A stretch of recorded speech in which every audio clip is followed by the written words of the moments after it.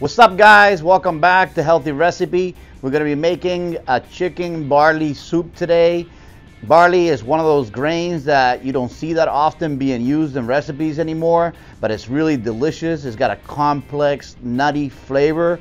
It's not considered uh, gluten. It doesn't have the gluten protein like wheat. So if you have problems with eating gluten, this is a grain that you could use in some of your recipes. It makes a really delicious soup. We're gonna use it today with some chicken and some fresh vegetables and herbs. It's gonna be totally delicious. So let's get right to it. Okay, so let's go over our ingredients real quick. I have here two organic free range chicken breasts that I cubed into about one inch pieces. I have 132 grams of barley, and the reason why I have 132 grams is because this is equal to four servings, uh, according to the bag.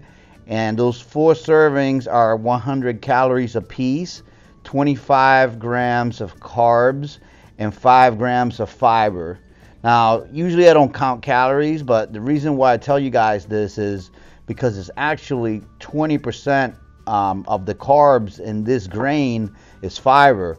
So very, very high fiber content, and that's pretty important because uh, even though you know it's, it's got some carbs in there, the fiber is very, very high. So really, really good from a nutritional standpoint. I'm also using uh, Kerrygold grass-fed butter. I have here about one cup of button mushroom sliced, one half of a red onion uh, diced. I have some herbs from our garden, and what I have here is parsley.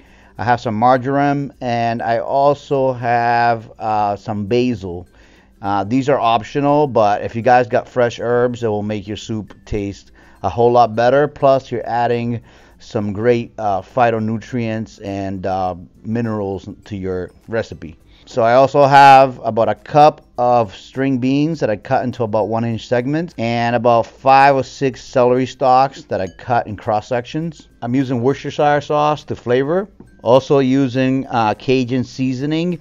If you guys don't like heat, you can use seasoned salt instead of the Cajun seasoning. I just like that flavor um, with uh, with this kind of recipe in my soups. I like a little bit of heat. I also have about a cup and a half of carrots cut into small pieces, about quarter quarter circles. I have about eight cloves of garlic minced, about a quarter of a bell pepper cut into small pieces, and I have one whole uh, beefsteak tomato that I chopped up into uh, cubes. And I'm using a little bit of organic almond milk at the end just to add some extra creaminess uh, this is entirely optional. I just had this in the fridge, and it's not really a full cup to drink, so I figured I would throw it in there. Um, it'll actually make the recipe a little bit creamier. But if you guys don't have almond milk, uh, you don't have to add this ingredient. So we're gonna get to sautéing our aromatics and our chicken first, and uh, bring you guys over right over to the cooking pot. All right. So the first thing that's going to go in our pot is about one tablespoon of grass-fed butter, and this is on high heat right now. Basically, what I want to do is I want to toast my barley first. Gonna give it some of that buttery, creamy flavor, and it's gonna toast it a little bit, just brown it. Gonna add an other dimension of flavor. And you'll start smelling it once it's getting toasted. It will start to brown a little bit, and it will create like this nutty aroma. And this is such an am amazing grain. I don't know why it's not more popular uh, in recipes.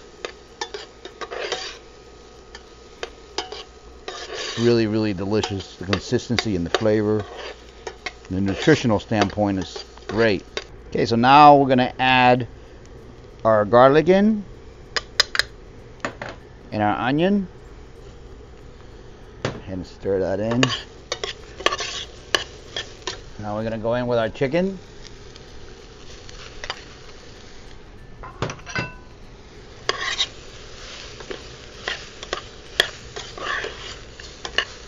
Okay, now that we got our chicken just slightly browned on the outside, we're gonna go ahead and add our tomato,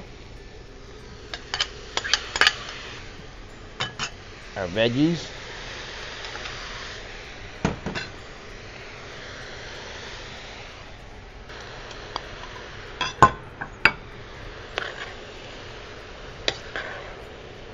All right, so now I'm gonna add about three tablespoons of Worcestershire sauce.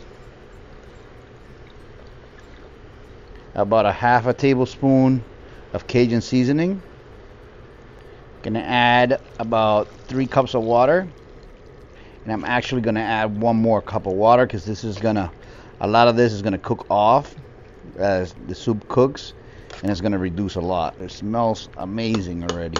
Okay, so now we're gonna reduce this to medium heat and cover it. And we're gonna give it about 30 minutes cook time and come back. Okay, so it's been about 20 minutes or so and everything's looking really good. It smells amazing. I'm gonna go ahead and add my herbs now and my almond milk. Looks like it hasn't really swelled up to its full size. It's probably got you know another few minutes another 10 minutes or so and it should be puffed up completely. So I'm gonna go ahead add our herbs now. And mix that in. Wow the aroma of like the parsley and basil together with like that marjoram is amazing. I'm gonna go ahead and add some almond milk now. This is just gonna make it a little creamier. It's gonna kind of enhance make it a little sweeter. Like I said that barley is actually 20% fiber out of their carbohydrates. It's amazing.